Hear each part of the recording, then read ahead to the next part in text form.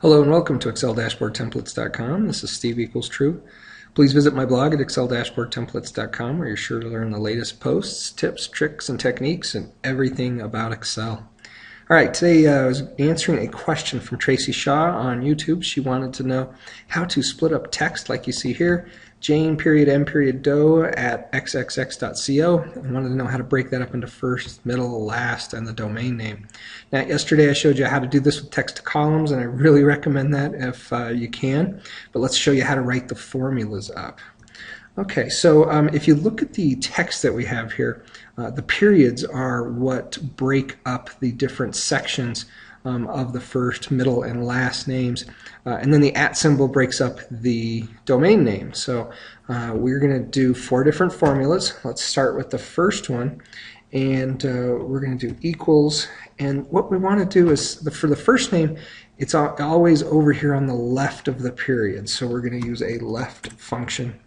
And the text that we want to do is the left of this text and now we got to tell it how many characters.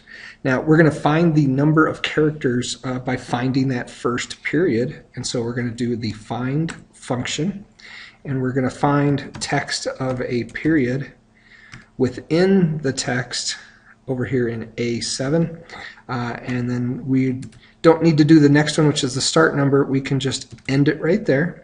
Now, since this is going to return the period as well, because that's what we're finding is the period, and so it's going to return 1, 2, 3, 4, 5, that means the period is going to show up in our first name, and we really don't want that, so we want to just subtract 1 and end our parentheses and hit enter.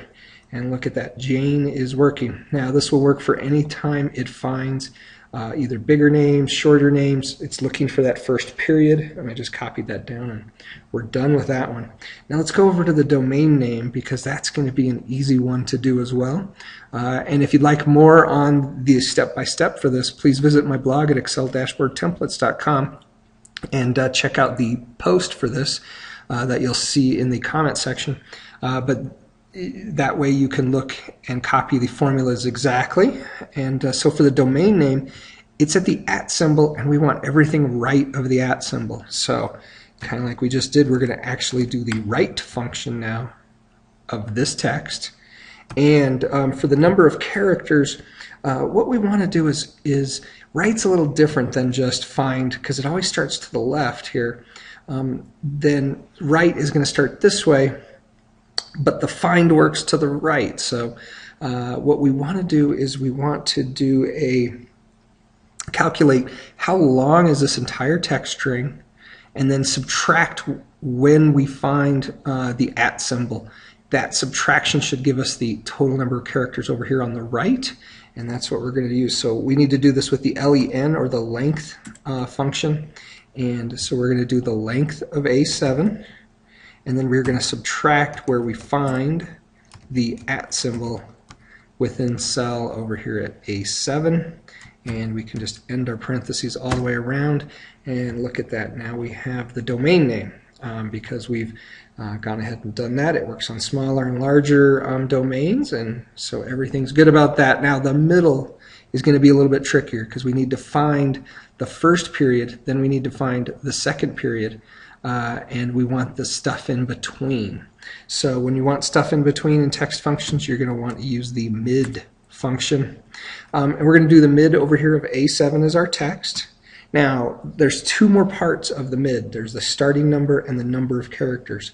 The starting number, that is going to be where we find that first period, right? So we are going to do a find, and we are going to do quotes looking for the first period over here in A7 and um, we can end that. Now uh, we want to get to that period but we want the next one so we're just going to add one to that. Alright, so now we have uh, got the starting number, but now we need to find that second period. So um, we need it to go find this period here so that we can subtract the two and uh, get the middle. Um, and so that is once again another find function and we're going to look for the same thing, a period, uh, and we're going to start over here in A7.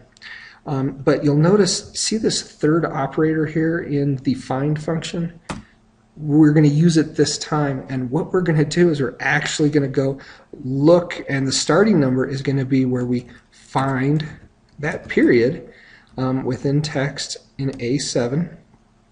So if we go look for that, and since we have to always get past that first period, we're just going to add a 1 in there as well.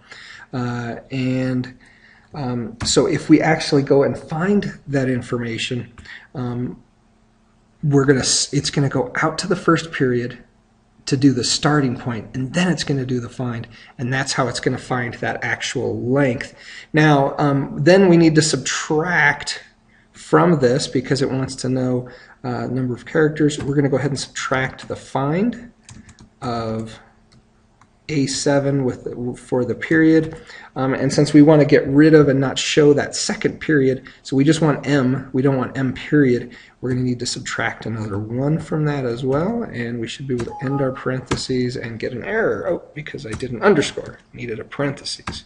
All right, there we go. So, um, so what it's doing is it is going to go in and find the second one. It's going to subtract out the uh, first period, and that's how it's going to get um, the information that we're looking for the middle. Let's copy that down. Look at that, uh, M, T, and TM. So it's dynamic there for all those different ones within the periods.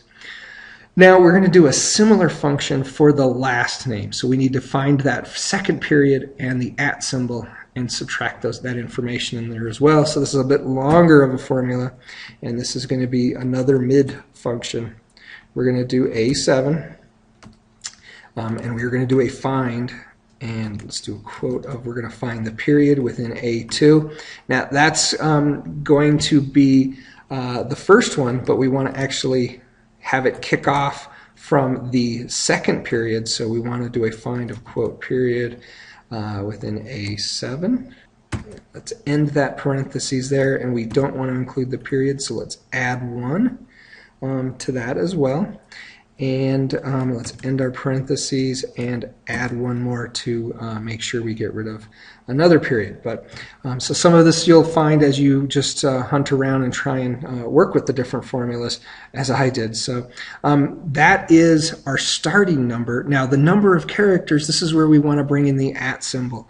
And so we want to do a find of the at symbol uh, within A7 and we want to subtract from that the find that we just did. So we want to do the find of period within A7 and we want to start at the first period, uh, not from the beginning of the text string. And oops, that's a comma, so we want period. And we want to do A7. And this is where we can go ahead and end our text string and it's going to wrap a little bit because it hit the side of uh, this long formula so you could look up in the formula bar as well um, so now that we've found that we want to um, add one to that and then we do not want to include the period in there as well Alright, so we have the formula set up, but oops, I noticed I have an error. This is not A2, it should be A7. That'll cause us uh, major problems, so let's hit enter and we have Doe. So it is um, looking for the second period by nesting those finds within uh, the mid function. Um, and then we're also going to find where the at symbol is and subtract that second period uh, to find our length in here as well. Let's go ahead and copy that down. And so you have do, do, ru dot, and z. So it works for different sizes, works for different things. Uh, so uh, come back tomorrow because I'm going to show you how to modify uh, this formula so that um, what if your uh, email address is just simply mary at um, edt.com. Um, you'll see we get all sorts of values and errors in this because there are no uh, there's no periods in there for it to find um, anything. So we're going to get just values and errors all over the place. So I'm going to show you how to do that. Or um, what if we had mary dot joe at edu.com. Mary works, but then our middle doesn't work and our last doesn't work. So uh, because it can't find those second periods anywhere in there um, that makes any sense. So come back tomorrow, I'll show you how to modify these formulas so that you can get those other variations of just first name, just last name, um, uh, I'm sorry, just first name or first and last name uh, so that you can make these formulas very dynamic. So once again, this is Steve equals true. Please visit my blog at exceldashboardtemplates.com and also subscribe to my video channel so you're sure to get the latest posts delivered directly to your inbox. Thank you.